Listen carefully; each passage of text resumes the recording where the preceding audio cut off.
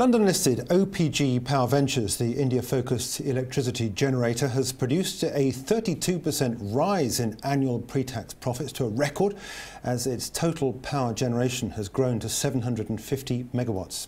It called the year a landmark but believes the best is yet to come. Ajay Paliwal is uh, strategy director at the company, and uh, he's with us now. Uh, congratulations, first of all, on the numbers, which I know came out last week, but it's a, yep. a chance to talk about what's gone on. Um, revenues coming in up 28%, 128 uh. Is what we saw in last fiscal year repeatable this year? Uh, yes, I think so, Jeremy, and more. Um, in fact, the, the numbers are stronger than they, um, than they appear to be in the financials, and that's partly because we have a transla translation effect from rupee to sterling. Over the years, rupee has weakened against the sterling. So actually, when you see the year-on-year uh, rupee revenues, they're higher, uh, and the underlying business has been growing even st more strongly than the, the sterling numbers would suggest. Coming to the current year, your question, um, our first quarter revenues are already over 50 million uh, sterling. That is to the first quarter ended uh, June of this year. So, so we're getting so yes, million last year. Um, you already you already started off on a, on a, on a fairly hefty uh, trajectory. Um, what is it that's going to cause you to get the extra business and extra revenue this year? What is it that's giving you that extra boost? Yeah, well, if you remember, Jeremy, we brought on uh, two major plants last year. So we increased our capacity from like 270 megawatts to 750 megawatts during the space of the year. Now, that capacity was brought on progressively through the year. So now we're going to see the full ramp up of all of that capacity and the full sale of the power that's generated from it. In, in terms of the, the next year, I said the, the best is yet to come. I was taking that from a statement from your, your chief executive because you are going into a, a new area of electricity generation, aren't you, with, with solar. Yeah. Um, first of all, why? Okay. Um, well, we, we think that it's, it's uh, the right time to get into to solar. Number one, we've completed our 750 megawatt program. That was uh, clearly a milestone for us. And before that, we didn't really want to get distracted by too many other things. And that, that of course, I just quickly update investors, yeah. is those that don't know the story, this is all uh, generated by thermal, uh, it's, coal-fired power stations. That's right. That's just about all coal-fired uh, power and two locations in the country. And, uh, and so we're now going to augment that, is the idea, with some, some solar. The timing is right for solar because um, you know, solar capital costs have fallen. The, there is a policy push behind uh, solar in India, and um, financing is available. And we're in the right place to, to do it, to execute these projects. So we think it's the right time. Okay, before we get on to a bit more about the solar, just to check to find out whether or not you're wanting to expand your thermal business anymore, or are you happy now with what you've got and that's going to be it? We think the solar business, the solar business is going to be important to us, for sure. Um, but the thermal business is going to remain important to us, and growing that business is going to remain important to us. So it's not the case that we are, all of our growth is going to be uh, exclusively solar.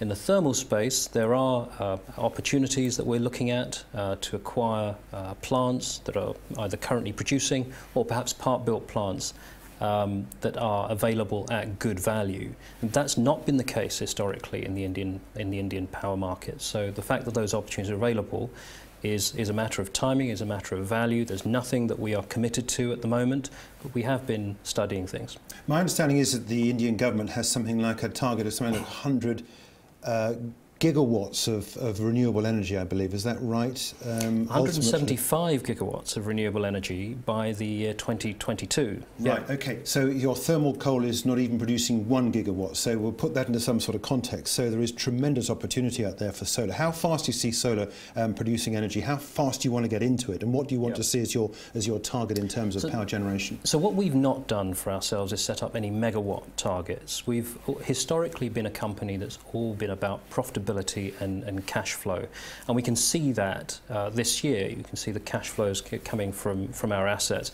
We intend to stick with that philosophy going forward in the solar business. So it's not going to be so much about um, you know, how quickly we can scale up the megawatts as it is going to be about finding the profitable megawatts. So we've been in tendering situations for solar, solar assets recently.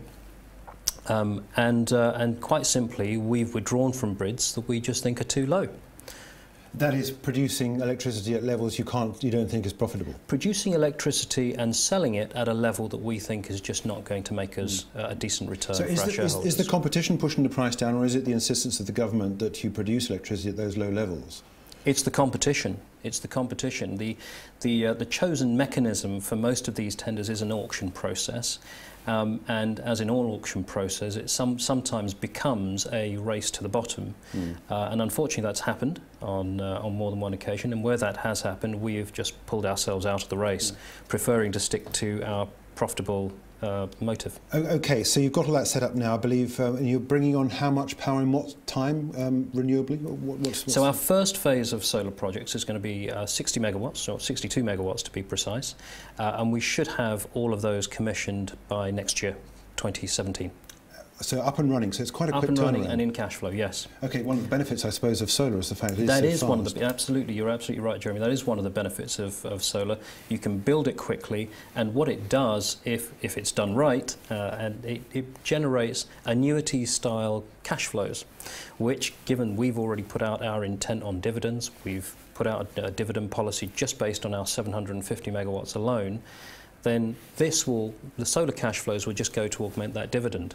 You do already have debt on the balance sheet. How are you going to pay for this uh, new business, this new arm to your business? We have debt on the balance sheet. We have been paying down our debt on the balance sheet. We are one of the, um, the least geared uh, power developers at this stage of development uh, in the country. Um, we, we, we intend to remain loyal to our sort of fiscal disciplines, if you like. So what we are going to do is, is um, extend some of our debt to, to pay for the solar assets. We're going to cost us about 45 million pounds. And that'll be, as a mixture of debt and equity. The debt will come from the, uh, the banks, um, which are very happy to, generally very happy to lend to us. They see as a good credit story. Um, and the equity we should be able to fund out of our own hmm. uh, cash flows. Hmm.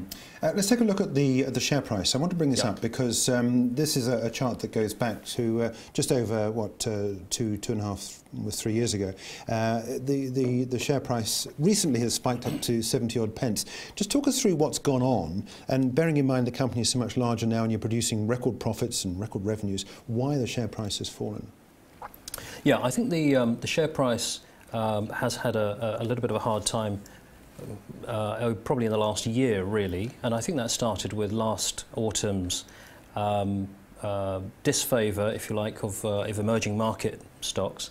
Um, and then shortly after that, we've had uh, two um, uh, of our institutions needing to, um, uh, to sell some of their holdings, not all of their holdings. Interestingly, it's been our other existing institutions that, that have been picking up um, the, most of that stock. There is nothing company specific um, uh, as far as we understand.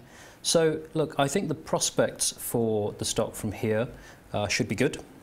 And um, you know, if everything that we're saying is, is true in terms of prospect for additional revenues and, and cash generation, the dividend to come, then I think it's uh, a case of sticking to our knitting mm -hmm. and sticking to our model um, and it should come right. Yeah, uh, I think um, Macquarie and I believe Cantor have both got targets around about 120, 130 pence a share. Yeah. That would take it up to more than your previous record high. How comfortable do you feel under that sort of pressure?